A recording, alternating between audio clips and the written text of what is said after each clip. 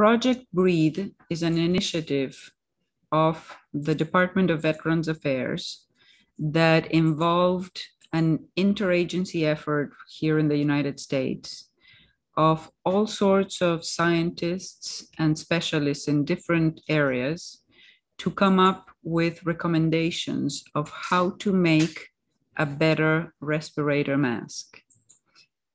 So, after the very first SARS pandemic in 2003, researchers went in to slice and dice the numbers around it.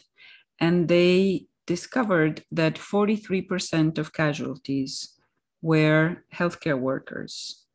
Survivors reported that they had put themselves in danger by pulling off their respirator masks and their face masks because they were hot, uncomfortable, and pleasant, and they didn't feel that they were protected by them. So in 2017, we first read this Breathe report.